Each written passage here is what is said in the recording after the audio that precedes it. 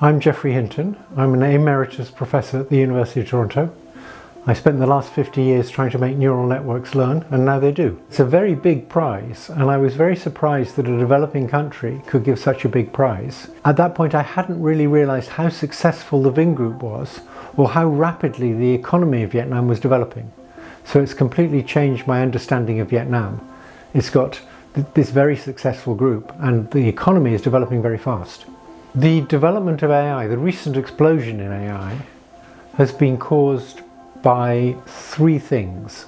There's the research that went into developing better ways of allowing neural networks to learn. And that's the kind of thing Yoshua and Yann and me and many other people were doing. But then there's the very fast compute that you get from GPU boards and the massive data that you can get. And a very nice aspect of this award is that it recognized Jensen Huang for pioneering GPU boards that are good for AI.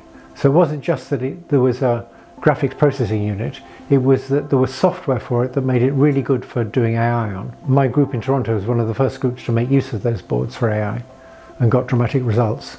And then Fei-Fei Li, um, early in her career, decided we needed a much bigger data set of images in order to be able to see whether neural networks worked. And so she put a huge amount of work into developing a big data set. That was crucial in showing that neural nets were good at recognizing objects and images. So that combination of the GPU boards from Jensen Huang and the data set from Fei-Fei Li was sort of crucial to the modern development of AI. And it's nice to see them recognized as well as the people who worked on the neural net algorithms. So I remember in our lab discovering that when you use GPUs for training neural nets, they went 30 times as fast. And that was huge. That was like this speed up that you got in computation over a period of 10 years. All of a sudden, we were sort of 10 years in the future in terms of how fast you could compute. And that made a huge difference to the development of AI. That was very exciting. Almost everybody in AI um, believed that the way intelligence worked was you had symbolic expressions in your head and you had rules for manipulating them. So it was like logic. In logic, you take some premises and some rules and you manipulate the premises using the rules and you get some conclusions. And that was their model for intelligence. And it just seemed to me that was hopelessly wrong and hopelessly unbiological because dogs are intelligent and they don't do that. So it seemed to me that we needed to figure out how you could learn the connection strengths in a neural network. And that would give us a kind of intelligence that was much more like human intelligence and would do things like explain intuition the logical approach could never explain what intuition was. These big neural nets are intuitive in the same sense as we are. So for me, seeing that that symbolic approach just didn't make sense, I thought that as we made AI more and more like the brain, it would get smarter and smarter, and eventually we'd end up with something as intelligent as people, but it might take another 30 or 50 years. By 2023, I was worried that it might only take like 5 to 20 years, and it, it might be much smarter than people. So yeah, that was that's when I got scared of AI. What you've got to realize is that these large language models came from a little language model a long time ago, which was using backpropagation to predict the next word. And that model was not designed for technological reasons. That was designed as a model of how humans learn the meanings of words. So these large language models, just like us, don't store any text inside them. They generate text when they need it. What's inside is just a whole bunch of neural activities and interactions between neurons. And that's the same for the artificial neural nets and for real neural nets like us. They process language in much the same way we do. Now, many linguists will say that's rubbish because linguists have an alternative theory which never worked. So it's not really about developments in AI, it's about us actually getting a proper model of what consciousness is. No, the issue, the big issue about whether they're conscious or sentient or have subjective experience is not to do with scientific progress in AI, it's to do with the fact that almost all people in our culture have a very crummy, incorrect model of what the mind is and what consciousness is. Many people say, well, they're definitely not sentient. And then you say, well, what do you mean by sentient? And they can't tell you. So it's very funny to be confident something's not sentient when you don't know what sentient is. But I'll give you an example of an AI having a subjective experience. Suppose I have a multimodal AI which can point and it has a camera and it can talk and I train it up and then I put an object in front of it and say point at the object. It'll point at the object, no problem. and then I put a prism in front of its lens when it's not looking. And then I put an object in front of it and say point at the object, it'll point off to one side. And then I tell it, no, that's not where the object is. I messed with your perceptual system um, using a prism. Actually, the object's straight in front of you. And the chatbot says, oh, I see, the prism bent the light rays, so the object's actually there, but I had the subjective experience that it was there. Now, if it says that, it's using the phrase subjective experience in exactly the way we use it. There's many different risks of AI. It can do wonderful things and it will be incredibly beneficial in areas like healthcare or tutoring or designing new materials or designing new drugs. Um, it's going to be wonderful for things like that. It's going to increase productivity in almost every company because anytime you want to predict something from data, AI will help you make better predictions, particularly if you've got a lot of data, and most companies do. But there's a whole bunch of risks associated with it. There's some short-term risks and there's one particular long-term risk. Many people have talked about the short-term risks. Um, I think those are very important. I've spent most of my time talking about the long-term risk because some people think that's just science fiction. And the long-term risk is that AIs will get smarter than us and will take over, they'll take control. And we have no experience of things smarter than us. We don't know what it's going to be like and we don't know whether we can keep control. If we can't keep control, that might be the end of humanity. If we can keep control, it might make life very easy for everybody. I don't know. And in those circumstances, you might think it would be a good idea to just pause the development of AI. But that's not going to happen. There's so many good things it can do and so much money to be made by developing it that the big tech companies are going to develop it very fast, whatever we say. So it's not an option to stop the development.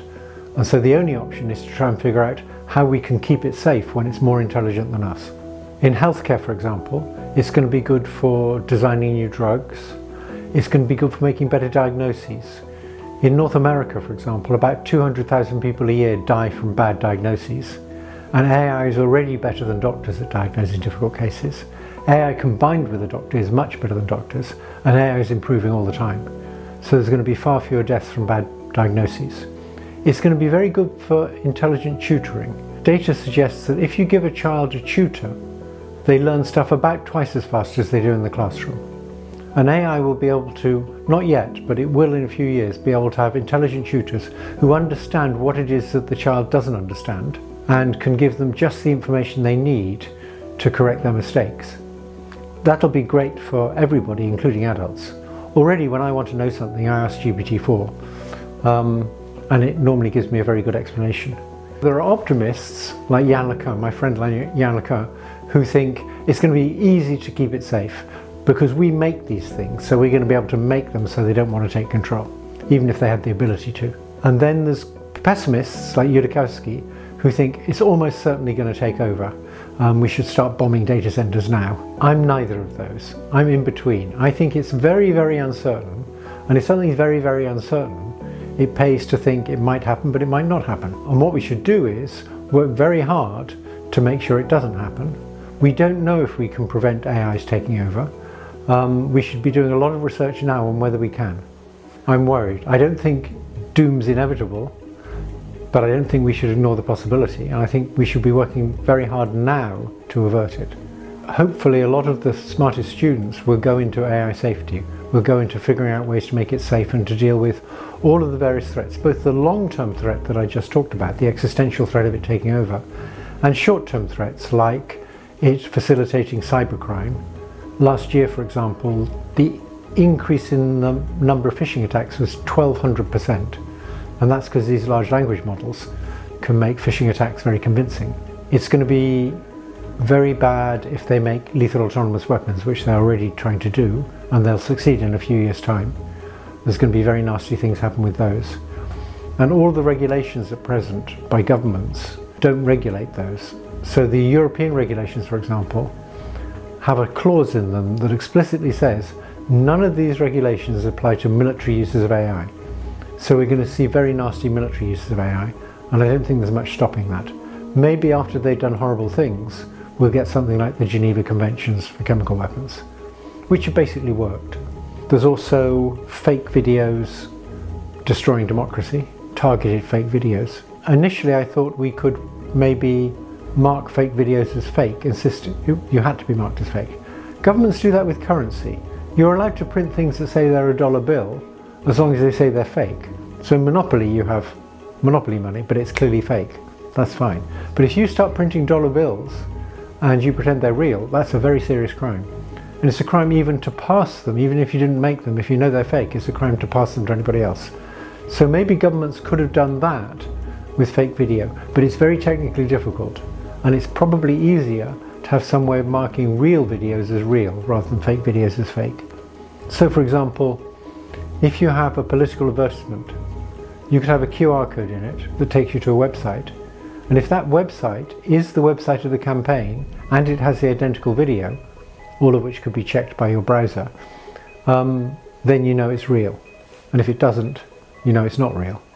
So you can do things like that and people are working on that now. The advice I give to young people is um, first work on AI safety, but that's not the only thing you should work on. So my experience has been that the way you do the best research is by pursuing something you're really very interested in. So curiosity is what drives really good research. In particular, you should look for something where everybody else seems to have one approach and you think there's something wrong with it. You just have a gut feeling that there's something wrong with the way they're doing things and you need to explore that. Often it turns out your gut feeling was wrong, but sometimes your gut feeling is sensible. People are doing things wrong, and if you explore it long enough, you figure out what it is they're doing wrong, and you figure out how to do it right. That's where a lot of the very best research comes from. So if you can do that, um, you might do some very good research.